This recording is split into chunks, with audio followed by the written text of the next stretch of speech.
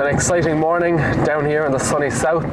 For the last two years, I've been doing all my operations, my woodworking, my tool restoration out of my parents' garage in the back garden. And this morning, we're moving a rake of stuff down to our new workshop. So I posted a video months and months ago where I show this workshop, uh, but it's only now it's ready to move into. Uh, the owner has spent the last year pretty much uh, meticulously renovating um, this kind of farm building area.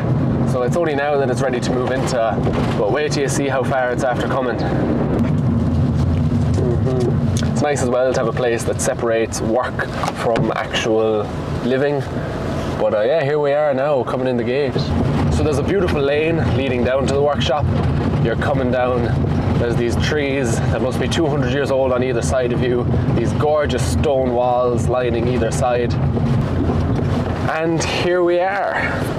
Yo, hey, there's Mikey, who's doing a bit of work, a bit of repointing.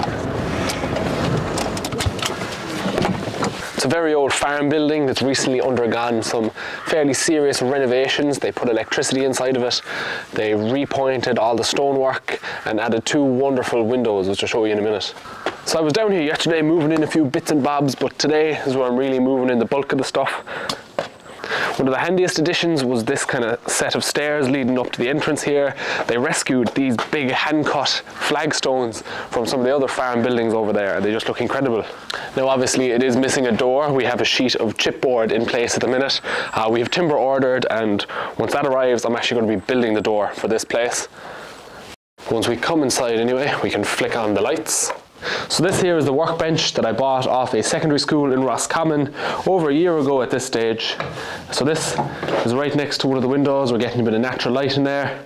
So I moved this down yesterday along with a few of the tool chests. So it's at this workbench where most of the magic is going to be happening. I'm going to be restoring and using mostly hand tools at this bench. But that leaves us with all this space back here that we need to utilize. So what I'm thinking of doing today is bringing in the stuff from the car and heading into the lumber store to buy some timbers so I can make a big long L table there so I can set up some of my power tools. Now I know I'm mostly known for using old hand tools, but if I'm doing a job for money where I just need to get it done as quickly as possible, then unfortunately power tools are the most efficient way to go about things, so I will have to have a section dedicated to that.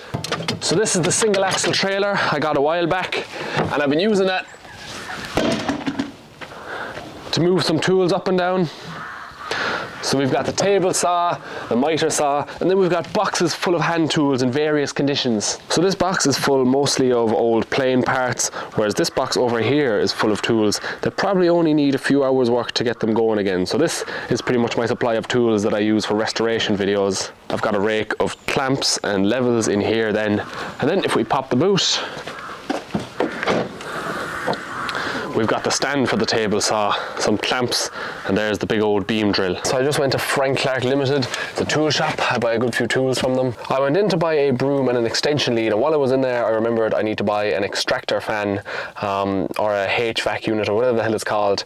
Pretty much sucks the sawdust out of the table saw and the crosscut saw basically stops the dust from just flying all over the place and keeps the place a little bit more tidy. So I'd previously been using my power tools outside exclusively so the sawdust could go on the grass and to be grand. But now that I'm inside a building, I actually need to manage my dust. So that was an expensive bit of kit, but uh, essential and I have it forever now. I had a manual battery charger that I put in for repair about two or three months ago and uh, I used that for electrolysis, just removing the external layer of rust from cast iron, bits of steel, whatever else and uh, while I was carrying it out the door after it had been in for repair I dropped it with an almighty crash and it cracked so that was unfortunate so we'll bring it home now and hopefully it'll still work and maybe with a bit of super glue here in the car we might be able to fix it up but for now we're going to get lunch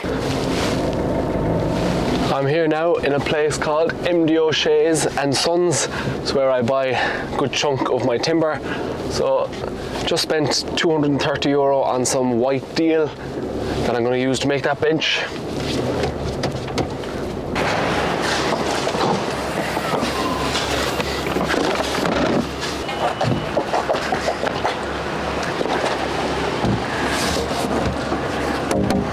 Well, I uh, left the roof racks at home, so uh, I might be taking the piss here a small bit, but it's only a short journey. Roof racks are bad for aerodynamics anyway. We made it back in one piece. So I have the chop saw set up outside in my usual fashion. I have a few lengths for the legs marked on this 4x3. We're going to cut it.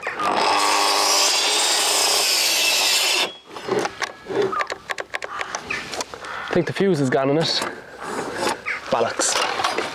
So it's uh, shaping up fairly nicely. I would have thought that by the end of the day I might have this table in place here as well, but unfortunately I'm after running out of screws, so we'll have to do that tomorrow. But for today, this fella's in place. The idea is we're going to lift this table up a small bit so that when the wood feeds through the table saw, it can head right onto this bench here.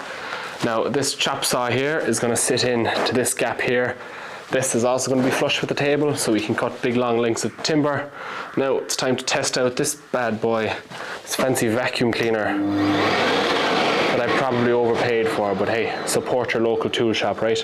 So apparently you plug this fella in here and you get, and yeah, now we need to figure out this mess of hoses. So I have this yoke here, this fella goes in here I'm assuming, Grand job. And this fella goes here. No, there's some connector now we need. Okay, turns out it just needed a bit of friction.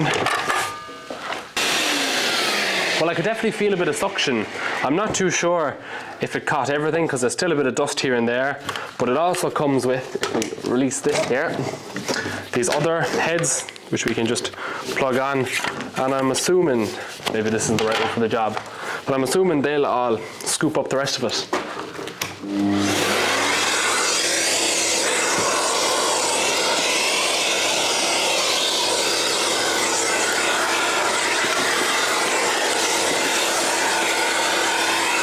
Haven't screwed down any of these boards into place yet and the reason being is they're sopping wet. Like this is just as wet as wood can be. They're out in the rain uh, so I'm going to leave them dry out in here for a while. When they dry they'll shrink, they won't be as wide so gaps would have formed between the two planks, or the three planks, had I screwed them in place. So instead, we're going to wait for them to dry out, and when they do, we'll clamp them all together, and then we'll drive them into place, just so there's no gaps, so nothing can fall down in between the table. I've moved the crates of tools down underneath the table.